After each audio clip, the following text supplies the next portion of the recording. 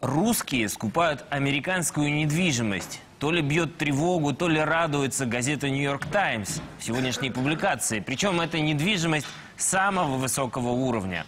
Процитирую газету.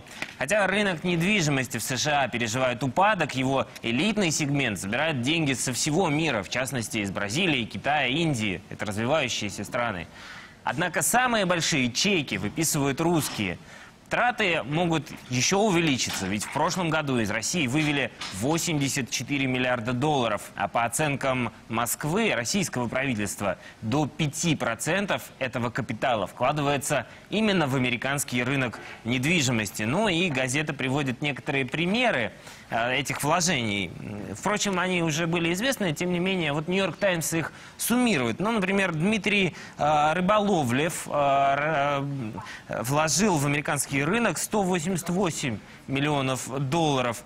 А, Игорь Крутой, российский композитор, а, купил квартиру за 37 миллионов долларов, а, за 48, прошу прощения, миллионов долларов, а 37 миллионов это затраты бывшего заместителя министра финансов Андрея Вавилова. Он потратил на квартиру такую вот сумму 37 миллионов долларов.